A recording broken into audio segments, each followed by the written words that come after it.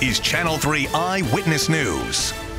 And we begin tonight at 6 o'clock with the Plainfield teacher facing sexual assault charges. And investigators say his victims were actually his own students. Tonight, only on 3, a parent of one of those children is worried the man was grooming minors. Channel 3 New London Bureau Chief Kevin Hogan was in court today. He has the latest details on the investigation tonight. Kevin. Well, Mark and Aaron, uh, Craig McHugh was fired last January by another school district following inappropriate behavior. And tonight, he remains locked up. And this follows an investigation by police in another school district. 31 year old former social studies teacher Craig McHugh resigned last semester from the Plainfield School District shortly after a complaint was lodged to police by this man, a concerned parent whose voice we disguised.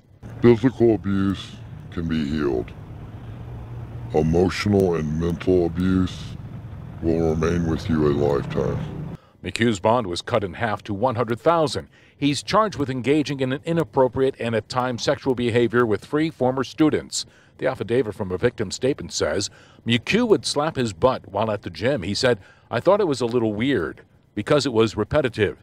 Juvenile witness number two said McHugh once sent him a nude picture of his private area when McHugh was in the shower and later texted juvenile witness two saying, Sorry, bro, I am high right now. In court, McHugh's attorney, Stephen McElhaney, told Judge John Newsom he is maintaining his innocence and he's been waiting since June for the second shoe to drop. Judge Newsom replied, These allegations are troubling. It's a case of grooming type of conduct. We reached out to Hartford Healthcare Institute of Living psychologist Dr. Laura Saunders. She says teens need structure and routine as well as boundaries. They need boundaries from the adults around them. It is not uncommon that teens try to push the limits, push the edges of the boundaries. And Dr. Saunders says those boundaries affect parents, grandparents, aunts, uncles, teachers, and basically any adult.